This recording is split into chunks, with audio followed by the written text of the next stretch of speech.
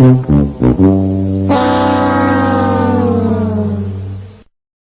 a todos y a todas, bienvenidos de vuelta al canal.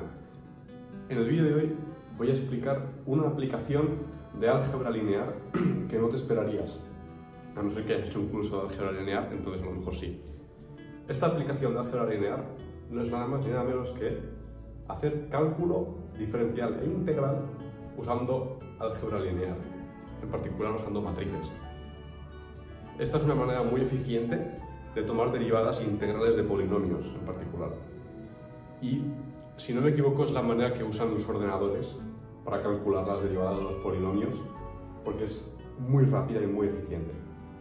Entonces, para explicar esto tenemos que repasar primero las bases de álgebra lineal. En particular tenemos que revisar qué es un espacio vectorial, tenemos que repasar qué son las bases de un espacio vectorial, qué es una matriz, cómo se define una matriz, y entonces ya podemos pasar al, al ejemplo en particular que queremos hacer. Entonces, un espacio vectorial es un conjunto de vectores. Entonces aquí, si venís de, si venís de secundaria o del bachillerato, o no estáis haciendo un grado en matemáticas o en ingeniería, tendréis una una mala percepción de lo que es un vector. Porque normalmente en secundaria os dicen que esto es un vector. Una flecha con dirección y magnitud. No, eso no es un vector.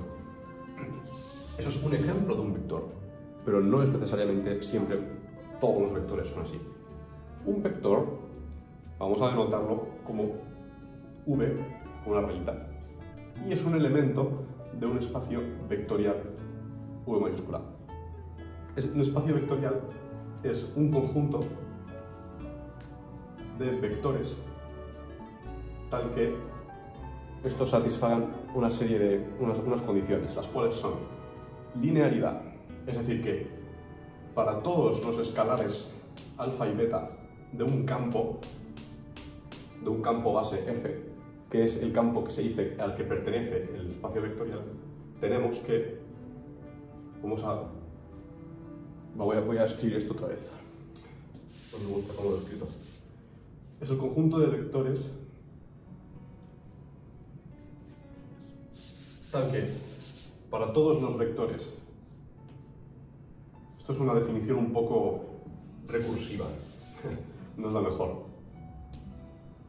Para todos los vectores v, w, en v, tenemos que para todos los escalares alfa y beta en el campo base del espacio vectorial, tenemos que alfa v más beta w también pertenece al espacio vectorial.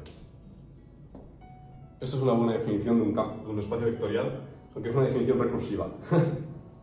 Pero bueno, entonces, un ejemplo de un espacio vectorial, el más sencillo y es el que se enseña en secundaria y el que todos usáis cuando pensáis en un vector, R2. R2 es un espacio vectorial, porque tú tienes cualquier, cualquier vector en R2, que son las flechitas que os imagináis, si las sumáis y las multiplicáis por un escalar, estáis otra vez en R2. Por lo tanto, R2 es un espacio vectorial. Vale, esta es la definición de espacio vectorial. Entonces, todos los espacios vectoriales tienen lo que se llama unas bases. Y unas bases son un conjunto de vectores cuyo alcance es el espacio vectorial entero. Y con alcance, no estoy seguro si esta es la palabra correcta en castellano, en inglés es span. Voy a usar la palabra span.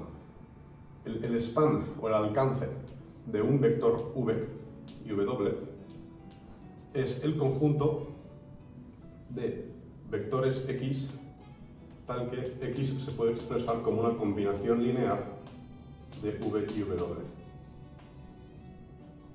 donde alfa y beta pertenecen al campo base. Entonces, una base, que voy a llamar esta B caligráfica, la base B de un espacio vectorial es un conjunto de vectores, potencialmente n vectores, tal que para todos los vectores en el espacio vectorial V, V se puede representar como la suma de un escalar por un vector en la base. Esta es la definición de las bases de un espacio vectorial. Entonces, en el ejemplo de R2, aquí, en el ejemplo de R2, las bases de R2, que se suele llamar la base estándar, simplemente es el conjunto de vectores 1, 0 y 0, 1. No es la única base, hay otras bases. Pero podéis comprobar que todos los vectores en R2 son una combinación lineal de estos dos vectores. Entonces, hay una condición básica para que un conjunto de bases, para que un conjunto de bases, perdón, para que un conjunto de vectores sea una base de un espacio vectorial. Y este se llama el teorema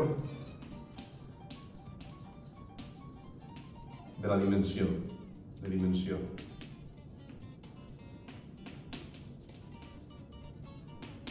Y dice que el conjunto de vectores v1 hasta vn son una base. Entonces vamos a poner que el es, esto define span. estos corchetes quieren decir el alcance. El alcance de estos vectores es el espacio vectorial si la dimensión del espacio vectorial es n, porque tenemos n vectores, y todos estos vectores son linealmente independientes. Entonces, ¿qué quiere decir linealmente independientes? Linealmente independientes quiere decir que, esto es una definición, linealmente, independencia lineal, o lineal, sí, voy a llamarlo así, independencia lineal quiere decir que si, si, escribimos la ecuación, la ecuación 0 es igual a la suma de algunos coeficientes multiplicados por los vectores de por un conjunto de vectores, ¿vale? Esto es 0 si y solo si alfa 1 es igual a alfa 2 es igual a alfa n es igual a 0. Esto quiere decir que el conjunto de vectores v1 hasta vn son linealmente independientes. Esta es la definición. Bien, entonces esto ha sido un repaso muy rápido de qué es un, un espacio vectorial. Entonces, aquí la mayoría de estudiantes de álgebra lineal especialmente los ingenieros, se están tirando de los pelos porque no tienen ni idea de para qué sirve esto. A los matemáticos esto realmente no nos preocupa, el hecho de no saber para qué sirve algo, porque esas las razones por las cuales estudiamos matemáticas no es por las aplicaciones. Pero eso a los ingenieros les, les molesta mucho. Entonces, eh, el siguiente paso de aquí era la transformación lineal. ¿Qué es una transformación lineal? Una transformación lineal es una especie de función que voy a llamar T, que va de un espacio vectorial V1 a otro espacio vectorial V2, y esa transformación tiene linealidad. Eso quiere decir que para todos los vectores en V1, la transformación de T de alfa V, voy a poner aquí V1, V2, V1 más beta V2, esta transformación, para empezar, obviamente vive en V2, en el espacio vectorial V2, y esta transformación es igual a alfa t V1 más beta t V2. Esta es una transformación lineal. Estas son las condiciones de transformación lineal. Tiene que tener la linealidad y tiene que pertenecer al siguiente espacio, obviamente por la definición. Entonces, un ejemplo de transformaciones lineales. Si, estamos viviendo en R2, tenemos solo unas, una serie de transformaciones lineales posibles, que son eh, agrandamiento, es decir, si no tienes un vector, te lo agranda, esto es una transformación lineal. Luego tienes otra transformación lineal que es rotación del vector, y luego tienes otra que es eh, en inglés se llama shear, que es que si tienes, si tienes tu cuadrado unitario, después de la transformación, esto te queda así. Vale. Entonces, estas son las transformaciones lineales posibles en R2. Pero aquí ya, obviamente, los matemáticos esto lo generalizamos a cualquier espacio vectorial y cualquier transformación lineal que tú te puedas imaginar. Entonces, esto es otra cosa que seguramente los ingenieros estén tirando de los pelos porque no tienen ni idea de para qué sirve. Bien, pues el punto de, álgebra, lineal, uno de los mayores puntos de, álgebra lineal es el hecho de que esta, esta transformación se tiene una representación como una matriz. Es decir, primero, para representar una transformación lineal como una matriz, necesitamos encontrar una base del espacio vectorial. Y una vez tenemos esa base, podemos denotar la matriz de la transformación T con respecto a nuestra base. Esto es una matriz, ahora. Y ahora con la matriz puedes hacer cálculos y puedes, puedes aplicar esta transformación lineal a un vector. Y entonces te va del otro vector. Porque con esto no podemos hacer nada. Esto es abstracto. Pero esto ya no es abstracto. Con esto podemos calcular cosas. Entonces, la pregunta es, ¿cómo definimos una matriz de una transformación lineal? Bueno, pues aquí tenemos que hacer un poco de pensamiento y después de, una vez entiendes muy bien el concepto de transformación lineal y el concepto de la base de un espacio vectorial, pues te das cuenta de que ya que cada vector en un espacio vectorial está determinado únicamente por las bases del espacio vectorial, esto implica que una transformación lineal en un espacio vectorial viene dada únicamente por cómo la transformación se aplica a las bases. ¿De acuerdo? ¿Por qué? Fijaos. Antes hemos dicho que... Antes hemos dicho que cualquier vector en V1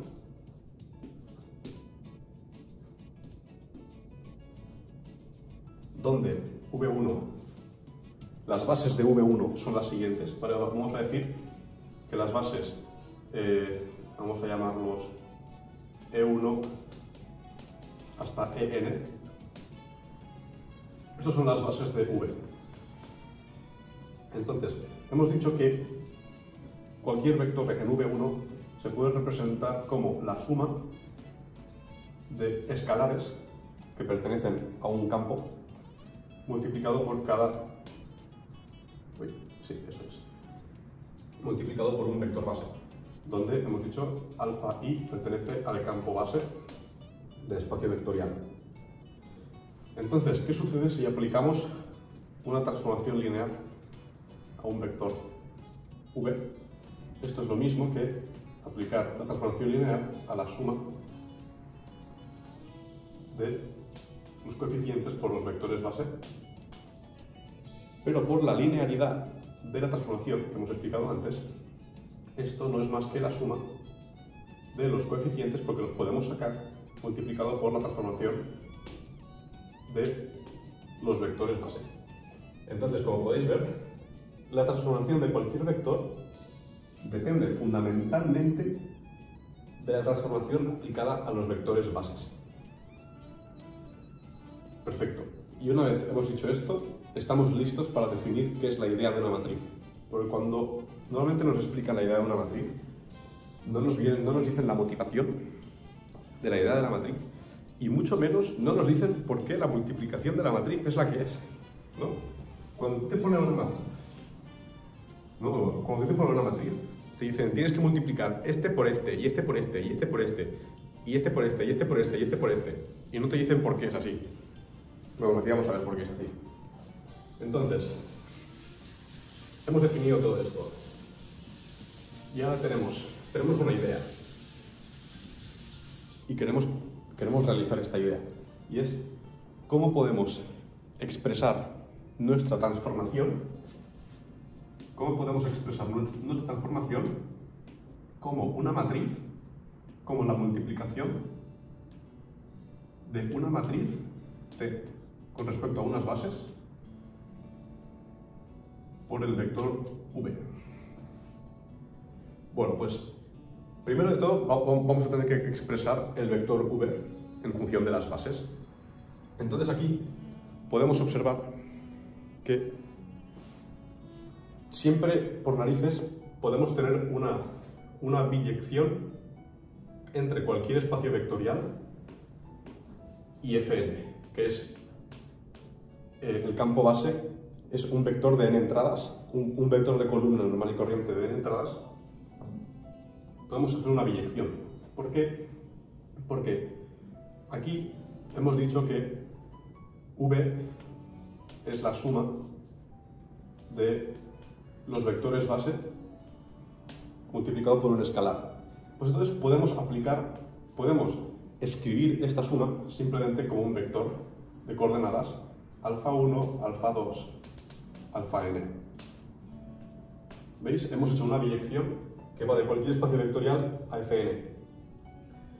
Y esto es muy útil porque nos va a permitir definir la multiplicación de una matriz sin tener que lidiar con el espacio vectorial abstracto, ya que podemos hacer una dirección a Fn, que es un espacio vectorial que todo el mundo conoce. Entonces, ¿cómo vamos a hacer esto? Bueno, pues hemos dicho que hemos dicho que TV era alfa 1 era la, transformación de alfa 1 E1 más alfa n E n. Y esto hemos dicho que era alfa 1 de E1 más alfa n de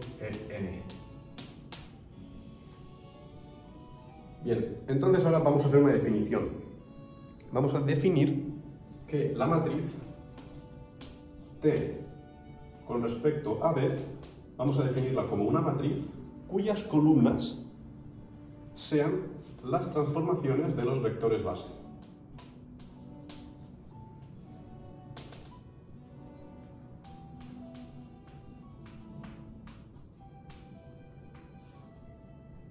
Vamos a definir la matriz de esta forma.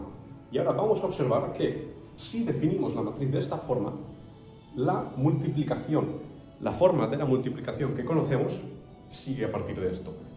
Dejadme elaborar. Nosotros queremos, queremos que la transformación de la multiplicación de la matriz tb por el vector alfa 1, alfa 2, alfa n es la matriz T E1 T E2 T E N. Aplicada al vector alfa 1, alfa 2, alfa n. Y hemos dicho que queremos que esto sea igual a esto, sea igual a esto, sea igual a esto. Entonces ya hemos obtenido una igualdad, que creo que voy a ponerla de otro color, que tenemos que este resultado es igual a esta multiplicación. Lo mismo. Hemos llegado a esta conclusión. Y aquí podéis ver que de aquí sale la norma de la multiplicación de la matriz normal y corriente, que es T1 por alfa 1 más T2 por alfa 2, que la que aquí, hasta TEN por alfa n. Y de aquí sale la multiplicación de la matriz, que conocemos todos. Vale, pues ahora he hecho una explicación rigurosa y muy rápida sobre un año entero de álgebra lineal. Bueno, un año entero no, pero bueno. Entonces, Ahora que ya he explicado todo este tostón, puedo pasar a la aplicación. Y es, la aplicación, si os acordáis desde el principio, la aplicación es eh, integrar o diferenciar usando matrices. Entonces, para aquí vamos a hacer una observación. Y todo esto de polinomios he dicho, ¿eh? Otras funciones no, polinomios. Entonces, vamos a observar esto. Eh, ¿Qué son los polinomios? Los polinomios no son más que la suma de un coeficiente por x a la y. Esto es un polinomio. Y entonces esto pues, decimos que pertenece, ¿vale? Si, si los coeficientes son reales o no, no tienen por qué ser reales, aquí vamos simplemente decir que los coeficientes pertenecen a un campo, pues esto lo denotamos Esto se denota así, este es el conjunto de los polinomios de variable x sobre un campo f. Y esto, fijaos por dónde, es un espacio vectorial. ¿Por qué? Bueno, pues esto lo podéis demostrar vosotros mismos como un ejercicio, pero es prácticamente obvio que si tú sumas, si tú multiplicas un polinomio por una constante, tienes otro polinomio, lo multiplicas por otra constante y los sumas, fíjate por dónde tienes otro polinomio multiplicado por otra constante. Y es precisamente lo que es la definición básicamente de un espacio vectorial. Entonces ahora tenemos, eh, y aquí, bueno, si decimos que i va de, de, 0 a n, es decir, tenemos que la máxima, la máxima, eh, el máximo grado de del polinomio es n, podemos decir aquí fn de x, pues nos fijamos qué es una derivada. Una derivada simplemente no, es una operación.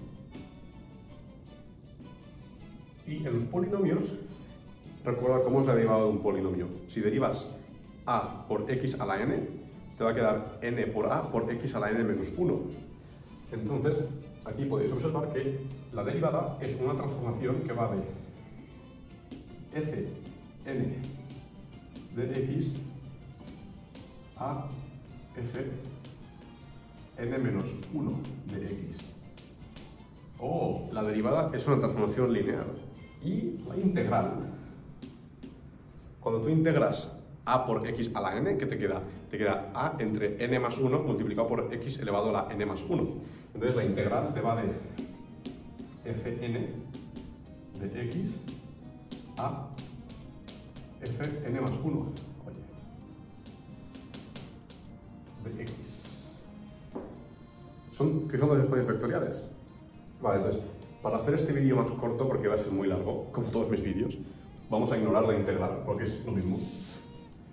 Y hemos hecho solo la, derivada. Entonces, vamos a recordar, ¿no? O sea, tú tienes un... Ah, esto es un vector, ¿no? Esto es un vector de un polinomio. Si tú aplicas la derivada a este vector, ¿qué te queda? Aplicas la derivada a esto, pero la derivada es una transformación lineal, ¿no? ¿Por qué? Porque si tú tienes de x a x a la n más b x a la n menos 1. ¿Esto qué es? Esto es a x n menos 1 n más n menos 1 b x n menos 2. Pero esto es lo mismo que a por la derivada de x a la n más b por la derivada de x a la n menos 1 la derivada es una transformación lineal. Entonces, aquí la derivada va a ser alfa i multiplicado, alfa i, y luego aquí podemos meterlo dentro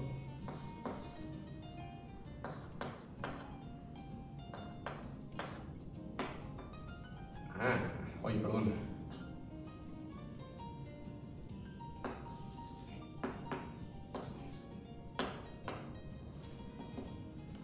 la derivada es una transformación lineal, así que podemos aplicar esta identidad. Entonces ahora simplemente tenemos que preguntarnos lo siguiente, y es, ¿todo esto para qué era? Todo esto era para crear, crear una manera de hacer derivadas de polinomios con matrices. Entonces, ¿qué pasa? Hemos dicho que la derivada es una transformación lineal. Entonces, como lo que he explicado antes, esto implica que existe una matriz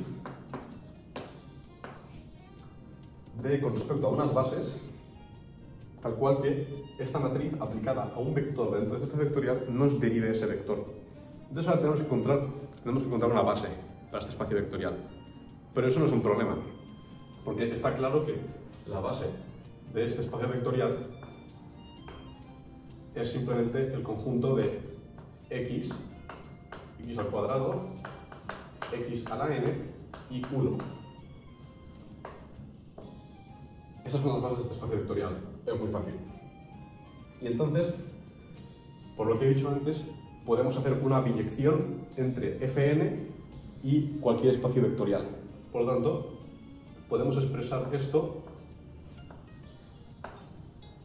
como el vector. Voy a poner el 1 al principio.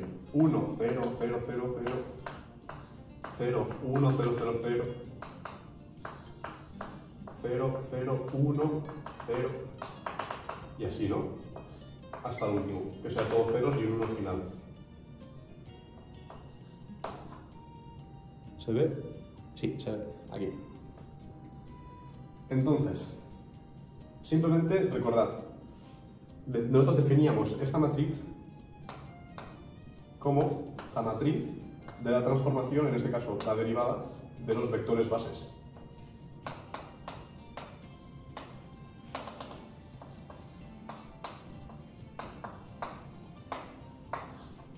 Entonces, simplemente tenemos que aplicar, tenemos que aplicar la derivada a todos los vectores bases. Y que, son precisamente estos de aquí, con esta biyección. Bien, ¿cuál es la derivada del el primer vector base, que es este? La derivada de 1 es 0. Entonces, esto lo podemos aplicar así. 0, 0, 0. ¿Cuál es la derivada de x? que representa este vector de aquí. ¿Cuál es la, derivada de x? Es 1. Entonces, la derivada de la segunda columna es 1, 0, 0. ¿Cuál es la derivada de x al cuadrado? Es 2 por x. Y recordad que x al cuadrado es el tercer vector base. Entonces, la, la tercera columna va a ser 0, 2, 0, 0. ¿Vale? Porque esta es la columna del, esta es la columna del 1, esta es la columna de la x. Y aquí tenemos 2x, después de aplicar la transformación. Y así, pues, aquí habrá un 3, aquí habrá un 4, hasta que tengas eh, aquí una n. Y ya estaría. Por aquí va, a haber un tercero. ¿Y esto por qué? Pues por aquí tenías x a la n. Vale, entonces esta es la columna del 1, la columna de la x hasta la columna de la x elevado a la n menos 1. Y aquí hay, aquí hay n, o sea, aquí hay n columnas y aquí hay el n, n menos 1 filas. Eh, 0, 1, 2, 3, no. Aquí hay n, aquí hay n, precisamente también hay n eso es cierto. No, vale, aquí podemos hacer n más 1, x a la n menos 1 y hacemos x a la n y aplicamos una última, así, una última fila que sea todo de ceros. ¿Por qué? Porque ahora tiene, todo tiene sentido, ya que cuando tú apliques la derivada a x a la n, te va a quedar n por x a la n menos 1. Entonces va a quedar una n en la fila de x menos 1 y un 0 en la fila de x a la n. Y esta es nuestra matriz.